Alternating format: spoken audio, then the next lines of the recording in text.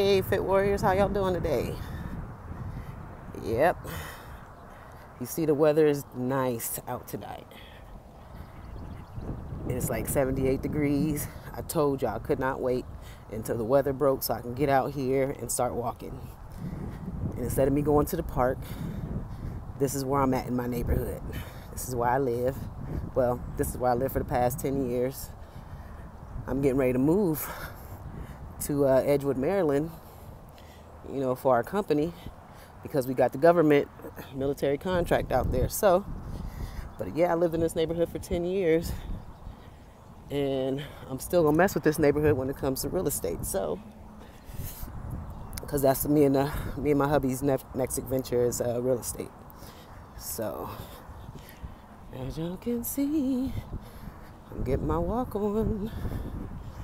I told you, no matter what, get that workout in. Mm-hmm. Yeah, see?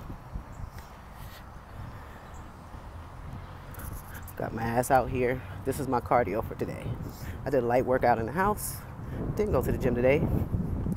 And uh, decided to do my cardio in my neighborhood at home. So I told you, no matter what, get out there and get that workout in. I'm allergic to everything outside. You see my eczema flaring up? And it's still out here. still out here. So there's no excuses. And if there is, get rid of them. And get out here. I'm telling you. Love yourself, love your life, and let it show. Peace.